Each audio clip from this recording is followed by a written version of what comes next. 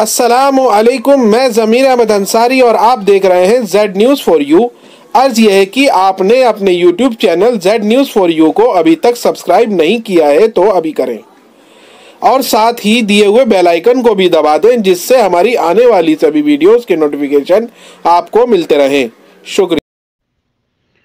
अस्सलाम वालेकुम रहमतुल्लाहि आपने सवाल पूछा है कि क्या हुकूक़ुल इबाद माफ़ हो सकते हैं? और हदीस में आता है कि जब तक बंदा माफ़ ना करे, अल्लाह रब्बुल आलमीन हुकूक़ुल इबाद को माफ़ नहीं करेगा। और आपने कहा कि दूसरी तरफ़ वो हदीस आती है कि भाई अल्लाह ताला ने निन्यानवे कत्ल करने वाले को माफ़ कर दिया था। तो इन हदीसों को किस तरह समझा जाए? देखें, जो हदीस आपने इसके मुकाबले में पेश की है बेशक हदीस कई एक हैं इस ताल्लुक से कि अल्लाह ताला जो है हकूक़ इबाद को माफ़ नहीं करेगा जब तक कि बंदा माफ़ ना कर दे, या फिर क़्यामत के दिन उससे बदला दिलवाएगा।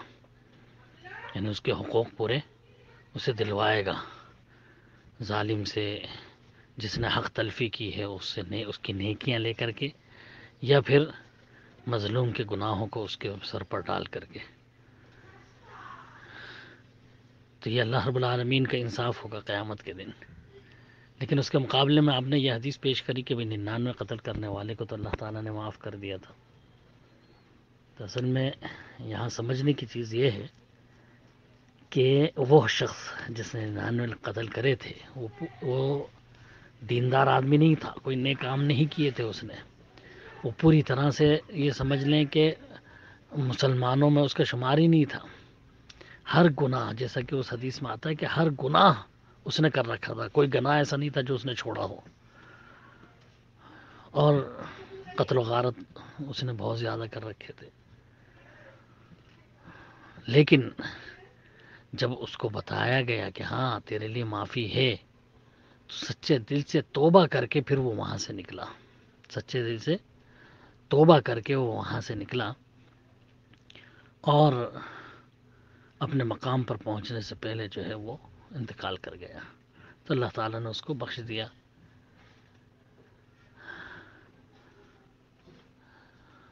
तो यहाँ उन हदीसों को भी सामने रखा जाना चाहिए, जिसमें अल्लाह के रसूल वसल्लम ने फरमाया अल इस्लाम तहदिम माँ का नकबल हो इस्लाम लाने पर इंसान के पिछले सारे गुनाह माफ़ हो जाते हैं। इंसान जब सच्चे दिल से तोबा करके अमल की ठान लेता है, गोया वो मुसलमान हो करके अब इतात फर्मबरदारी में पूरी तरह आ जाता है। जिस तरह इस्लाम ला करके, ईमान कबूल करके ईमान में दाखिल होता है इंसान तो अल्लाह के रसूल सल्लल्लाहु अलैहि वसल्लम की हदीस है कि पिछले सारे गुनाह माफ़ हो गए उसके। उनके ताल्लुक से अब पूछ गछ नहीं होगी, उसके ताल्लुक से नहीं पूछा जाएगा। उसका मामला अब सब कुछ ख़त्म। अब यहाँ से वो मुकलफ हो गया है, अब यहाँ से उससे पूछ गछ होगी। जब उसको सही समझ आ गई है, उसने सच्चे दिल से तोबा कर ली है, और अब जो जानने के बाद फिर वो गुनाह करेगा तो उस पर उसको पकड़ होगी। तो मोमिन के लिए, मुसलमानों के लिए यही है कि वो जानते हैं अल्लाह ताला ने क्या क्या फ़राइज़ उन पर आयद किए हैं किन किन चीज़ों से मना किया है, अल्लाह के हकूक़ क्या हैं, बंदों के हकूक़ क्या हैं। अब वो जानने के बावजूद अब वो खिलाफ वर्जी करेंगे तो उस पर उनकी पकड़ है। जब तक जिसकी हक तलफ़ी की है वो माफ़ नहीं करता, अल्लाह रब्बुल आलमीन भी उसे माफ़ नहीं करेगा। ऐसा नहीं है कि अल्लाह रब्बुल आलमीन तो उसको माफ़ करना चाहता है, लेकिन क्योंकि बंदा माफ़ नहीं कर रहा, इसलिए अल्लाह ताला भी माफ़ नहीं कर सकता। ऐसा नहीं है। अल्लाह ताला तो मुख्तार कुल है। जिसको चाहे, जब चाहे, जिस तरह चाहे माफ़ कर दे।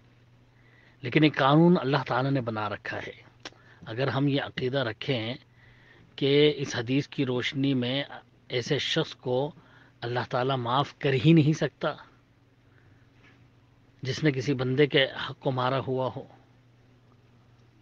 और जब तक बंदा माफ़ ना कर दे, अल्लाह रब्बुल आलमीन उसको माफ़ कर ही नहीं सकता। तो ये अकीदा सही नहीं है, क्योंकि इस अकीदे से फिर ये लाजिम आएगा कि इंसान की मशीयत को अल्लाह की मशीयत पर जो है गालिब तस्लीम करना पड़ेगा। जबकि अल्लाह रबालमीन की मशीयत गालिब है। वो जो चाहता है वो होता है।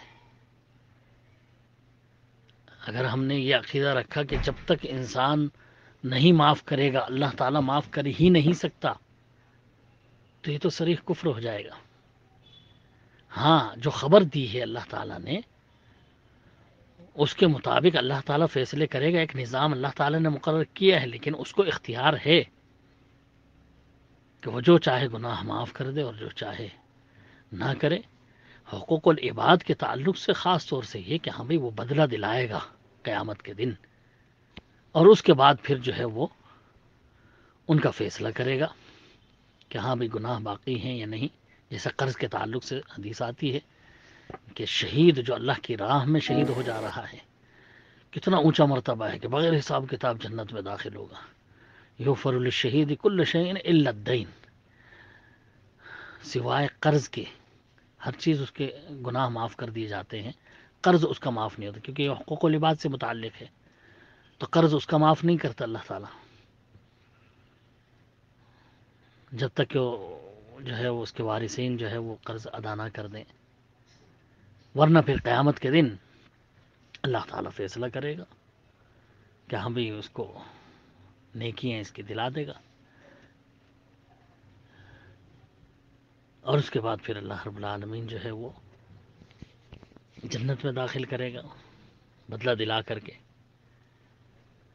एक हदीस वो भी आती है हज़रत अनस बिन मालिक रज़ी की, कि अल्लाह के रसूल सल्लल्लाहु अलैहि वसल्लम ने फरमाया, यानी एक मरतबा हज़रत अनस कहते हैं कि हमने देखा अल्लाह के रसूल मुस्कुरा रहे हैं।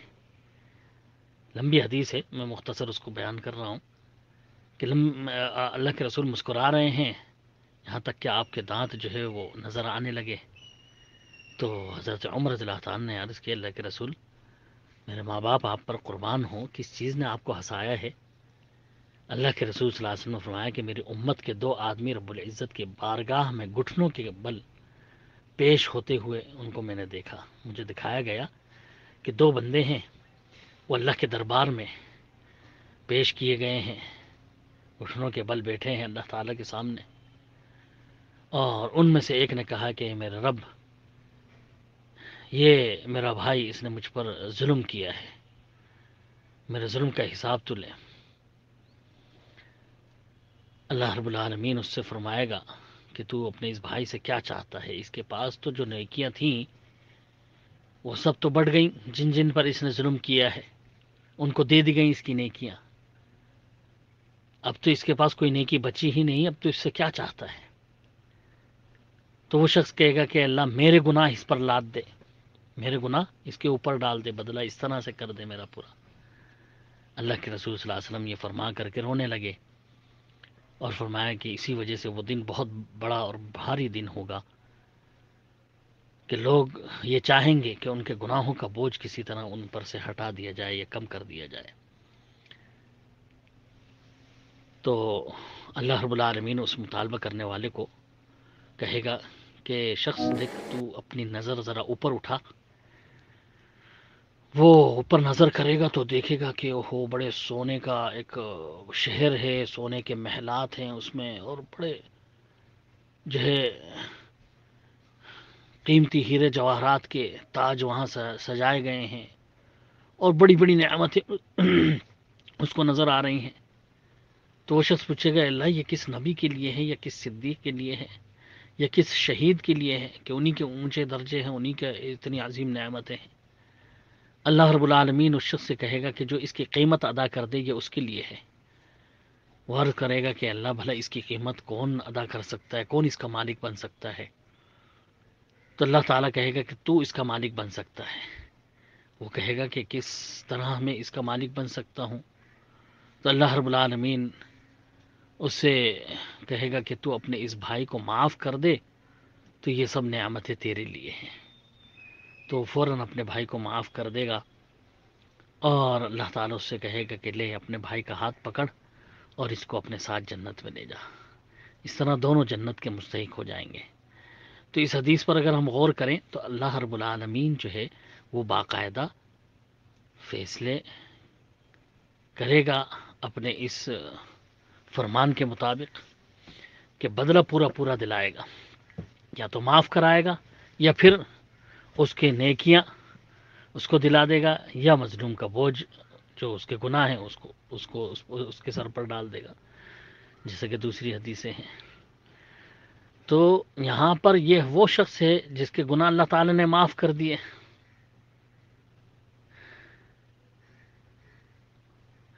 यह जिसको अल्लाह ताला ने बख्शना था। भले हकूक़ुल इबाद थे और नेकियाँ भी उसकी बाढ़ दी। गुनाहों के ही सर पर उसके बोझ है। उसके बावजूद अल्लाह रबालमीन फरमा रहा है कि ले अपने भाई का हाथ पकड़ और इसको जन्नत में साथ ले जा। तो ये वो शख्स है जिसको अल्लाह ताला ने बख्श दिया, माफ़ कर दिया। तो अल्लाह ताला इस तरह से जो है वो बदला दिलाएगा हकूक़ इबाद के। कि जिसको बख्श देना अल्लाह ताला चाहेगा, जिसको बख्श देगा, उसको इस तरह माफ़ भी करा देगा और राज़ी भी कर लेगा, मजलूम जो मजलूम है, उनको राज़ी करेगा उससे। उनको ऊँचे दर्जात या जन्नत की अजीम नमतें दिखा करके माफ़ करवाएगा अल्लाह रबालमीन तो ये पूरा पूरा बदला हुआ और अहादीस में जो है कोई तारुज़ भी नहीं। कि एक तो इंसान जब सच्चे दिल से तोबा कर लेता है और हक को पहचान लेता है और हक पर फिर अमल करने लगता है तो उसके पिछले गुनाह माफ़ हो जाते हैं। दूसरा ये कि क़यामत के दिन अल्लाह रबालमीन इस तरह भी फ़ैसले करेगा, जिस तरह ये मुस्तरक हाकिम और बहकी वगैरह की सही सनत से ये रिवायत जो लंबी मैंने आपके सामने पेश की है, इसमें वजाहत है कि अल्लाह ताला इस तरह भी हकूक़ इबाद माफ़ करा देगा। और वो भी जन्नत का मुस्तक होगा। लेकिन ये अल्लाह रबालमीन की मर्ज़ी पर है। अल्लाह रबालमीन ने वाज का भी वफ़र मादून आज़ादी का मैय शाह उसको इख्तियार है। शिरक को तो किसी किस्म, किसी तौर पर नहीं बख्शेगा, लेकिन दूसरे शिरक के अलावा दूसरे गुनाह जो चाहेगा माफ़ करेगा। ये अल्लाह रबालमीन नवाज़ अब उसमें हकूक़ इबाद भी हो सकते हैं, जो चाहेगा लिमैया शाह में। जो गुनाह चाहेगा वो माफ़ करेगा, जो नहीं चाहेगा वो सज़ा देगा, या फिर जो हकूक़ इबाद हैं वो बदला दिलवाएगा और उसके बाद माफ़ करेगा। या सज़ा देगा, जो भी अल्लाह ताला को इख्तियार है पूरा।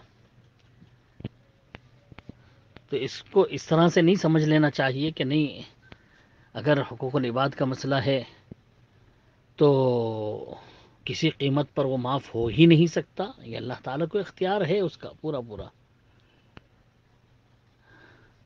हाँ बेशक हदीस बिल्कुल सच्ची है, सही है अपनी जगह। अल्लाह का फरमान रसोल्ला वसल्लम का फरमान, उस पर ईमान अकीदा होना चाहिए कि हकूक़ बाद अल्लाह ताला जो है, जब तक बदला ना दिला दे, उसको माफ़ नहीं करेगा तो वो इस तरह से बदला दिला दे, बदले के तीन तरीके इस हदीस से वाज हो चुके हैं कि या तो नेकियाँ इसकी लेकर मजलूम को दे दी जाएँगी या मजलूम के गुनाह इसके सर डाले जाएँगे, या फिर माफ़ करवा दिया जाएगा, एक दूसरे को जो है राज़ी करा जाएगा एक दूसरे से। और फिर उसके बाद अल्लाह रबालमीन चाहेगा तो बख्श देगा, माफ़ कर देगा या फिर सज़ा देगा। ये उसको इख्तियार है। इसीलिए हर गुनाह के ताल्लुक से ज़रूरी है कि इंसान तोबा करे, बख्शिश तलब करे अल्लाह रबालमीन से। और हकूक़ुलबाद का ख्याल इसीलिए ज़रूरी है कि हमें हकूक़ुलबाद का ख्याल रखें कि कहीं वो नेकियाँ हमारी क़यामत के दिन उसको देनी ना पड़ जाए, बदला ना देना पड़ जाए, उसकी वजह से जो है वो लिबाद का ख्याल रखें। अल्लाह आलम बिस्वाब एक बार फिर आपसे रिक्वेस्ट है कि आप अपने इस यूट्यूब चैनल को सब्सक्राइब करें, लाइक एंड शेयर ज़रूर करें। शुक्रिया।